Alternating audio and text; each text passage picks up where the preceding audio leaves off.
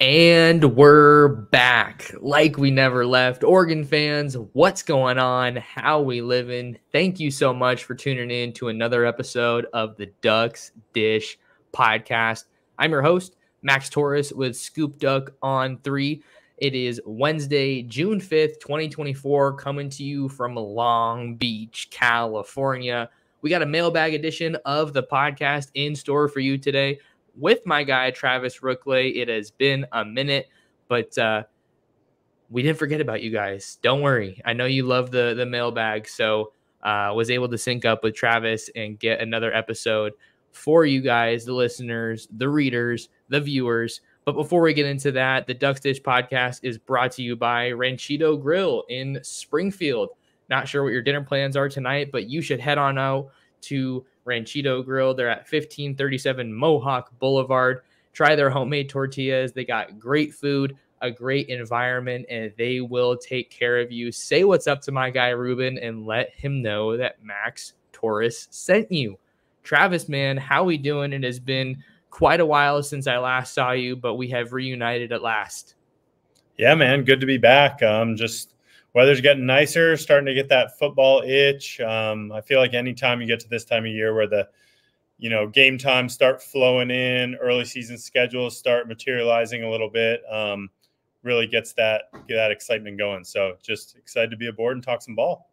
Absolutely, man. Absolutely. Yeah. I mean, the things have been crazy. And you know, I was out in Nashville last week, which was insane. So much fun. And then um, you know, I'm looking for an apartment, looking for a place to live. So so life just gets uh, a little crazy on you sometimes. But glad to uh, to be back here with you.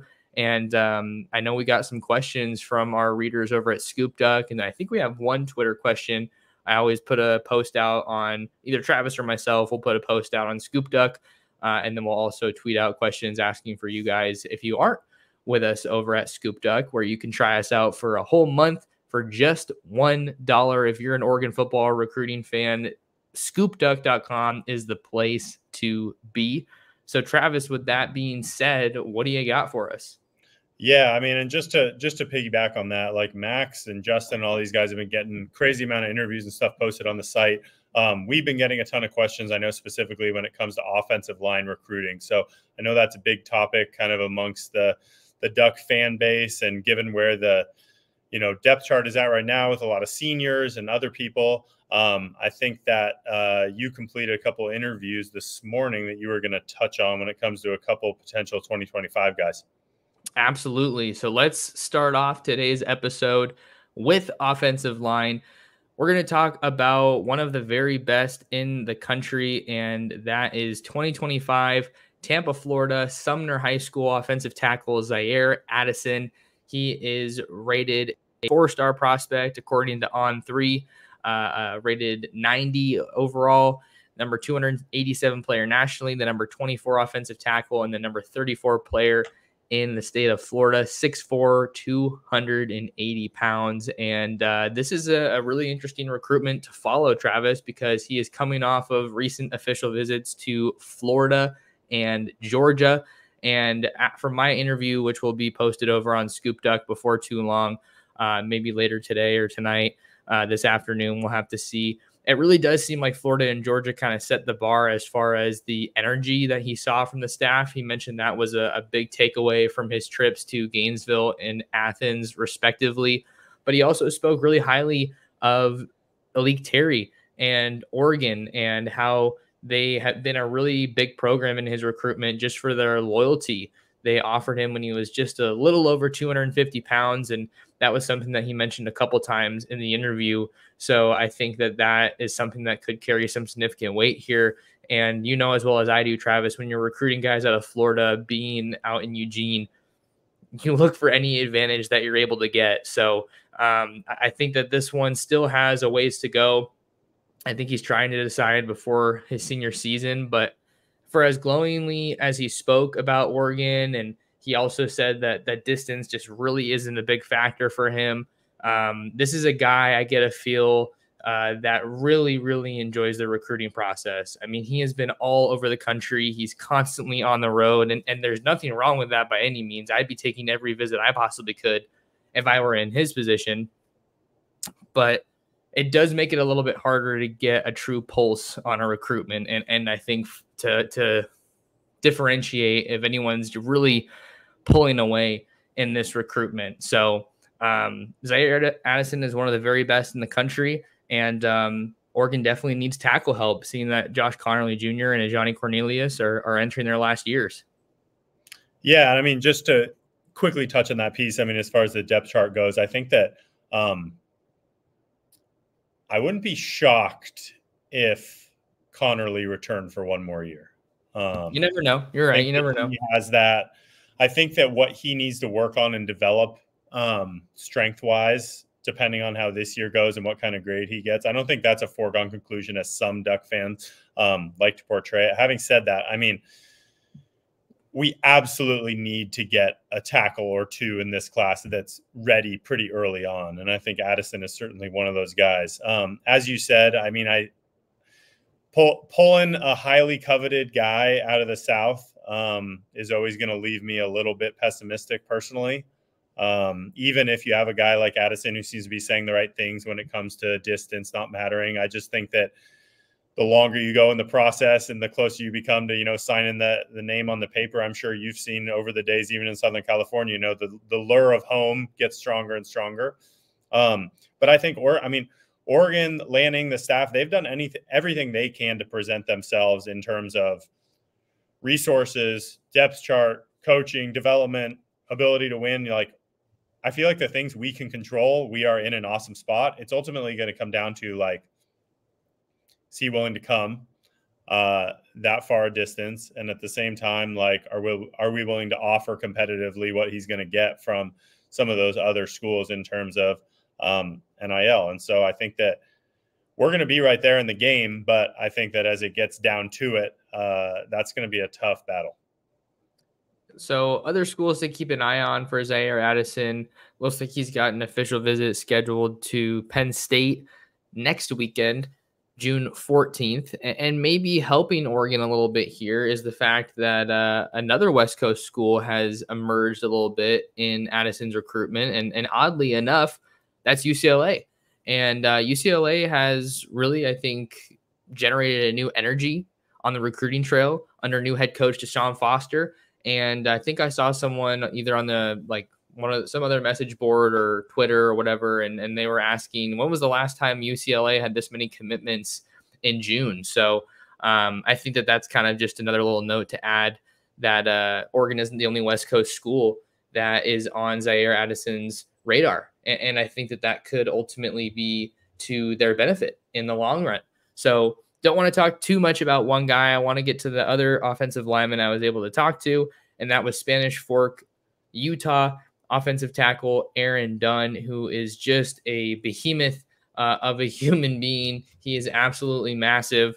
Uh, I think he's uh, right around six foot seven and um, in the neighborhood of 290, 300 pounds. So this is another big target for Oregon and A'lique Terry. And maybe Travis, we would say he's a more realistic target if if, uh, if we just want to look at distance alone, because Utah is a state that has been very kind to Oregon in recent years on both sides of the ball, whether that's Jackson Powers Johnson out of Corner Canyon winning the Remington Trophy and then landing with the Raiders in this most recent NFL draft, or Jeffrey Bassa out of Kearns High School, I believe it is, uh, on defense at linebacker. Noah Sewell being another one, Penei Sewell being another one, if you want to go back to offensive line. So that was something that was big for Aaron Dunn in uh, the recent interview I was able to get with him. He just came off of a recent unofficial visit out to Texas A&M, and that's a bit of a newer school in his recruitment. It seems like they're going to try to squeeze in an official visit out to College Station, but he has two more official visits set up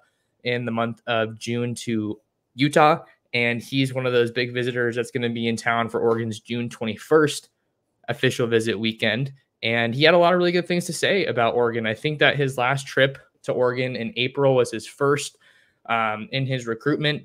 And um, I think Oregon is still very much alive in this recruitment. And um, I wouldn't be surprised if Aaron Dunn continues to be one of those top guys that we are looking at in in this recruitment as far as in this class, I should say, for A'lique Terry and the Ducks. So um, I'll have to listen back to the interview again, but uh, very, very positive sentiment from Aaron Dunn as it pertains to Oregon. And, um, you know, physically, he, he's as imposing a prospect as you'll find. Yeah, for sure. And I mean, as you said, I think that um, the proximity certainly helps here. The success there certainly helps here. Um, I mean, two of those guys you mentioned are, you know, Penei, obviously a top 10 pick, uh, JPJ, a top two round pick, those guys specifically from Utah themselves. So I think that, um, you know, the, the things that we have to point, you know, for us in this recruitment are all there. Um, you know, Joe Moore, finalist the last two years for our offensive line. Um, clearly, the development piece of it is there. Uh, clearly, the depth chart piece of it is there. The resources are there.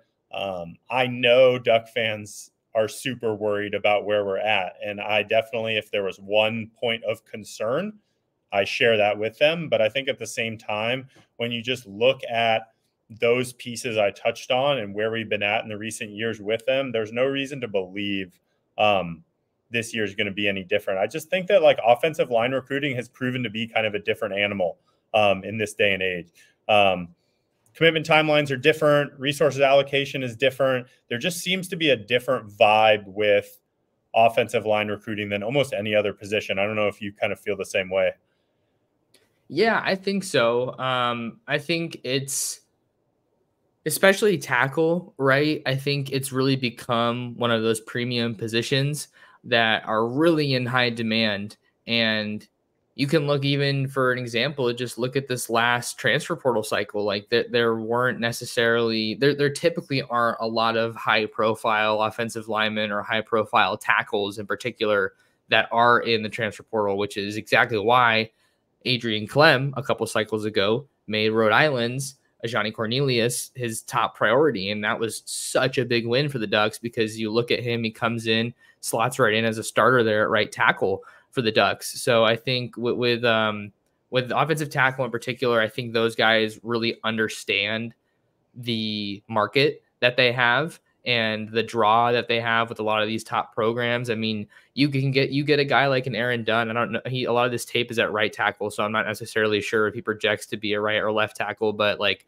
with a tackle, you get those guys, and it's like, hey, you get me, and I'll protect your quarterback's blind side for the next four years. So that's just obviously a, a very common talking point, but uh, it's one that obviously makes a lot of sense, and it's why you see offensive line recruiting kind of being in that uh, upper tier or different animal that you mentioned, Travis. Yeah, and it's always going to be you know more of a development of developmental position in that way. I think that I've heard you know there's an adage I know in a lot of college football circles you know you fi- sign five to six each cycle and hope two to three pan out. Um, and with this you know with the portal now and so much more roster movement, I think it almost makes that a cleaner process where it's like you know you have guys in the you know in the HDC and you see after a year or two they're not going to develop into the guy you wanted to and find a new spot for him and bring in some new guys. So I think that um, between those two names you mentioned, I know J Hop posted some juice today that mentioned a couple other candidates that were visiting soon and possibly on the radar. Um, Ducks are going to be in a fine spot, and as we saw with Cornelius, like yeah, it's it's you're going to have to be at the top of the list to find a guy in the portal if you need him, but there's no reason to believe that won't that we won't be at the top of that list if we do need it. Um, so um, Duck fans can can sleep easy, I think, for a couple months here, and let's see where things shake out. Exactly. So make sure you guys check out the Juice if you haven't already. That's uh, Justin's premier recruiting feature, and then mine's usually Torres's take. So um, we try to keep our readers as informed as possible. And June's been a big month so far, and and this June will will lay the groundwork for for what's to come in July, uh, and go a long way in determining how Oregon's 2025 class shapes out. But uh, Travis, what you got next for us? Yeah, might as well stay on that topic a little bit. Another recruiting related question um, that touched on the OL too. Um, how much does track and field play into Foster, meaning Bryce Foster's recruitment, and then how much does baseball play into Jonah Williams? Um, I feel like I can probably touch on the first, and you don't mind going into the second a little bit. I know with Foster, I mean, track's always been 1A, 1B with him. I remember him um, coming out of high school. That was a huge selling piece for our program. Um, and I think it still does remain that way today. I don't think it's an accident that he's visiting when we're hosting a big track meet, I believe this weekend. Um, I could be wrong, but I believe it is. He's coming again to town um, to see that. So I think, long story short, that's a big piece of it. And I think if you can bring in a guy like that, a depth piece on the offensive line that is probably coming as a walk on as well, um, that's a slam dunk to me. That'd obviously be a big uh, a big win for Oregon if they're ultimately able to to land Bryce Foster and based on some of the recent conversations I've had with, with people close to the program, it, it seems like Oregon's feeling pretty good about their their chances with Foster. I don't think Travis. I've seen any other schools linked to him uh, amid his recruitment the second time around now, obviously in the transfer portal. And if you're thinking about track, there, there's not too many schools that are going to be able to beat Oregon in, in, that regard. And I think if you can hypothetically add a guy like Bryce Foster, you get some depth at center in case anything happens to Poncho and, and just overall some depth along the interior of your offensive line. So uh, that's a win-win situation as far as I'm concerned. And then going over to Jonah Williams, uh, if you don't know Jonah Williams, 2025 five-star safety out of Galveston, Texas, Ball High School. Uh, this is one of the biggest wants in Oregon's 2025 recruiting class, specifically at safety. Uh, I just wrote a snapshot story for Oregon's 2025 recruiting, safe, uh, safety recruiting, that is, uh, over on the site. And I basically talked about how the Ducks need to sign an elite safety this class.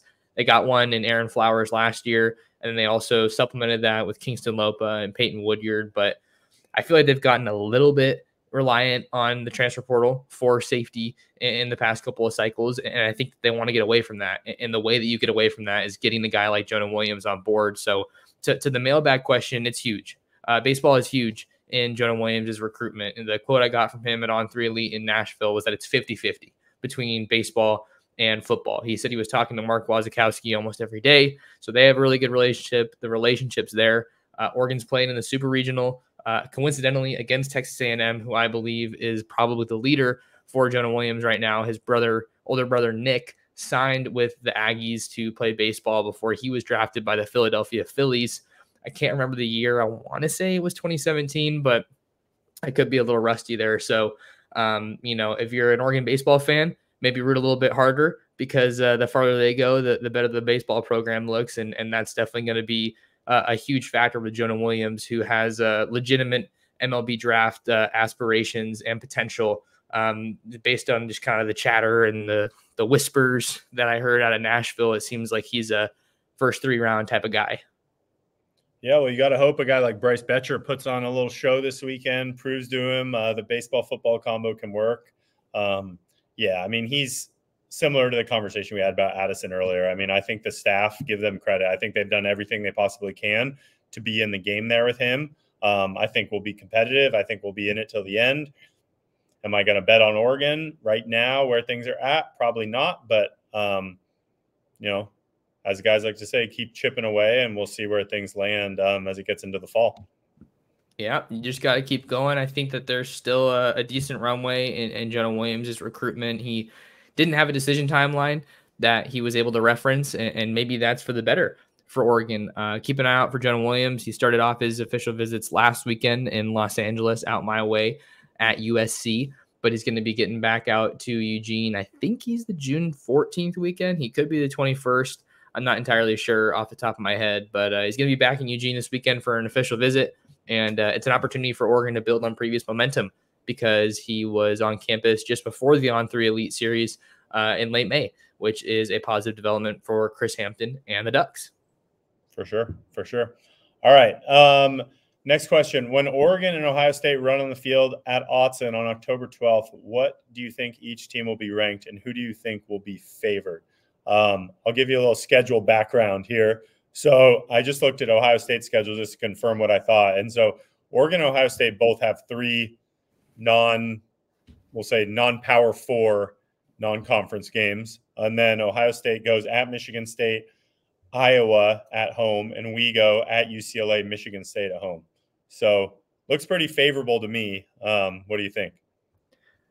Yeah, I think it looks very favorable for, for Oregon um, and Ohio State as far as just the the road ahead and the schedule that they have before they face off in Eugene on uh, October 12th, which Travis, I mean, everyone's kind of talking about it, right? This has game of the year potential uh, based on how both of the teams have done in the transfer portal and in the high school rankings. They both break in new quarterbacks in Dillon Gabriel at Oregon and Will Howard at Ohio State. Carlos Locklyn is now on the Ohio State staff. Chip Kelly is now on the Ohio State staff. So I don't think that Oregon and Ohio State ha- have ever been linked or tied this closely together uh, in recent years, except for, of course, their 2014 matchup, uh, 2015 matchup, I guess, in the national championship and the debut of the four team playoff. So it seems, Travis, like both of these teams are probably going to be undefeated going into that game in mid October.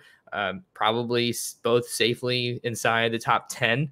And um, I don't know. I think if this game was in Columbus, I think I would say that Ohio State is surely going to be favored, but it's in Eugene. So I don't know. I mean, if, if Oregon takes care of business, you would think that they would probably be the likely favorite but um, I don't know if I'm confident enough in the national narrative and the uh, national love for the Ducks compared to how most people out west probably feel about the Ducks.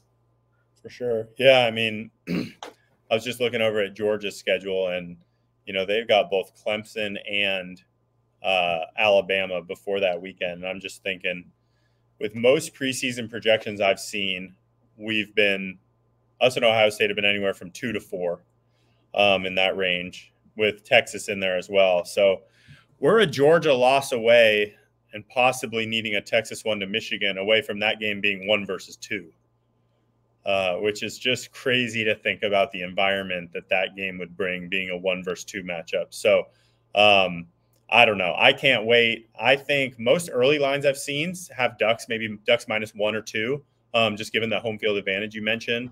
Um, what I think that typically means is on a neutral site, Ohio State's probably a slight favorite.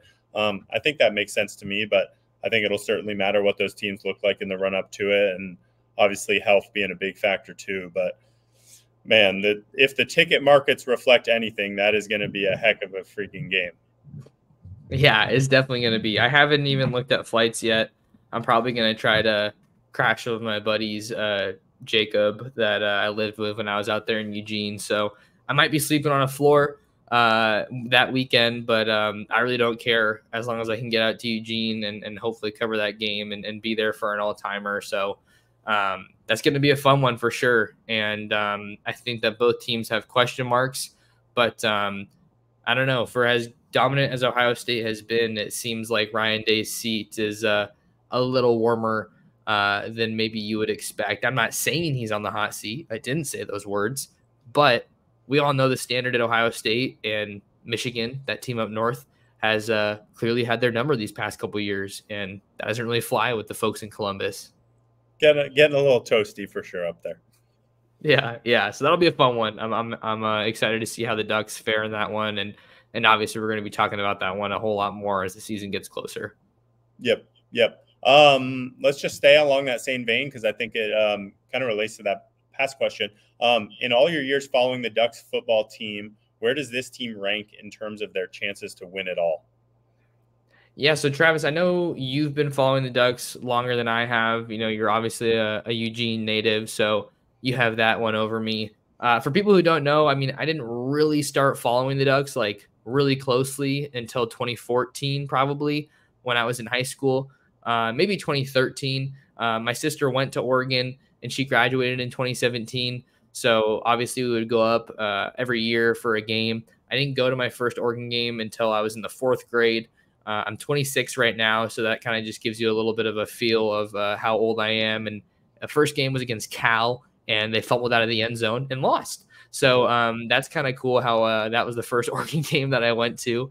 Uh, but they definitely grabbed my attention. So um, I mean, 2014, that was a year where after a couple games, I think you just saw the Ducks were for real with with Mariota obviously running things, um, and, and, the defense that they had with Defoe and Arik Armstead and uh, some of their defensive backs. Um, so it kind of just felt like 2014 was like, okay, how many points are the Ducks going to win by this week? Um, that's like just how good they were. So I'd say this is probably I mean, in terms of a roster and the potential to win it all, I think it's right up there.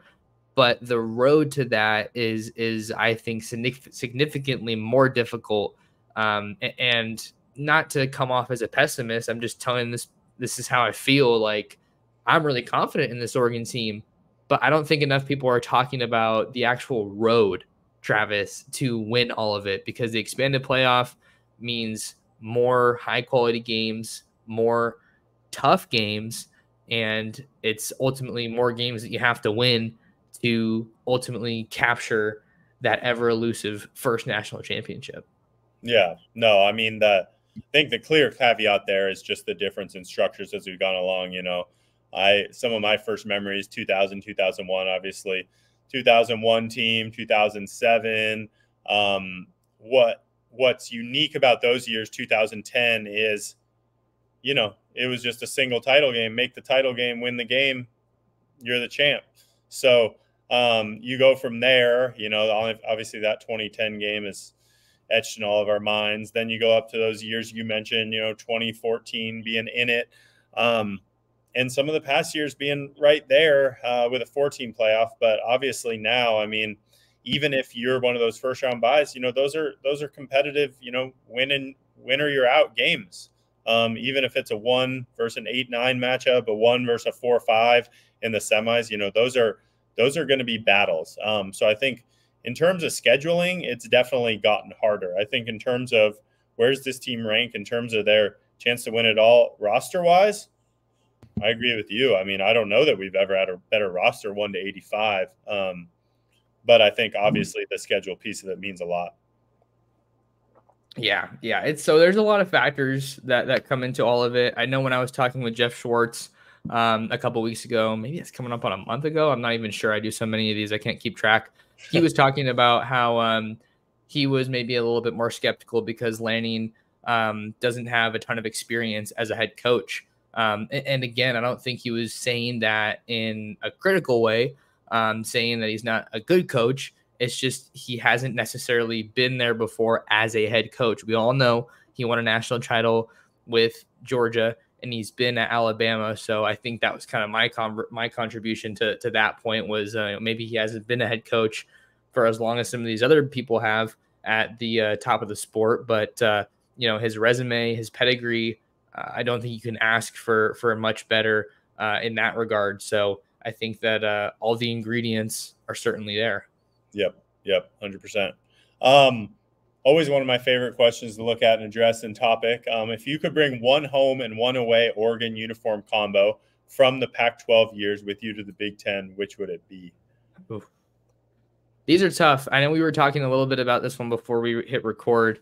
Um, it doesn't quite feel like Oregon has um, home and away uniforms. Um, so I'm just going to go with two of my favorites that were from the Pac 12 era. Um, they definitely saw a resurgence this year and deservedly so, but I love the retros, uh, the pick uniforms um, with with the yellow helmet and then the green UO on the side. And then um, another one that I've always really, really loved, Travis, is the um, I think it was the 2012 Rose Bowl uniforms, the forest green with the chrome lids. Um, I I really loved those. I think those are some of my favorites. Uh, I want to see Oregon do more forest green this year. I feel like they haven't really leaned into that in a while, and, and it's one of the cool combos because it just leans into that Pacific Northwest identity, the outdoors, the nature, the green. So uh, I think those would probably be two of the ones up there for me. How about you? Yeah, hundred percent agree on the forest green. I'm I'm team forest over apple any day, um, but no one seems to want to listen to me. Um, I don't know. I got three that I loved. I love the the black Jordans that we debuted. I was always hoping we'd come out with like a white version, but I think just throwing that Jordan symbol on there was um, fans, players, everyone loved that. Um, black Jordans for sure. I think. I mean, you're an you're a Southern California guy. Um, the classic stormtrooper, like from the 2010, 2012 down at USC that we'd wear every year. Um, I don't know if it's just the fact that I have such fond memories of that game and those games, but yeah, heck, right there, if you're watching on video, like watching Barner run for 321 yards in those uniforms, um, those will just always have like a special place in my heart. Just thinking about, um, just kind of like flip. I, you know, growing up, USC was always the you know big bad bully. Um, and having that flip, um, and then just having like those iconic uniforms that were super special to that time. I always think about. And lastly, I think this uniform doesn't get enough credit because the game was horrible, but the duck uniforms, the like with the little orange cleats and socks against Colorado 2016, I think it was. Um, horrible game. Horrendous horrible game.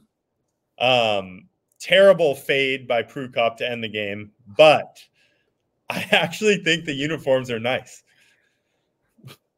I like those two. I like those two. I think that the perception would be a lot different had they been able to get a win in that game, Travis. But uh, I I hate to cut it short, but I gotta I gotta jet. I gotta get out of here. Um, so if you guys want to find more of Travis, you can follow him on Twitter slash X at Travis Rooke-Ley, that name right there on your screen. Also check him out at Ducks Rising, Duck Rising uh, with all the stuff that they're doing over there, getting things going. If you want to find more of me, you can follow me on Twitter, Instagram, and Facebook at M Sports. Subscribe to the ScoopDuck YouTube channel. And like it says there on the bottom, come see us at ScoopDuck. Try us out for just $1. I think it's well worth the price. And uh, share the show, share the Ducks Dish podcast with your friends, with your family, with other Duck fans. But until next time, thank you guys for stopping by. Thank you to Travis for coming on. And we'll see you in the next episode of the Ducks Dish podcast.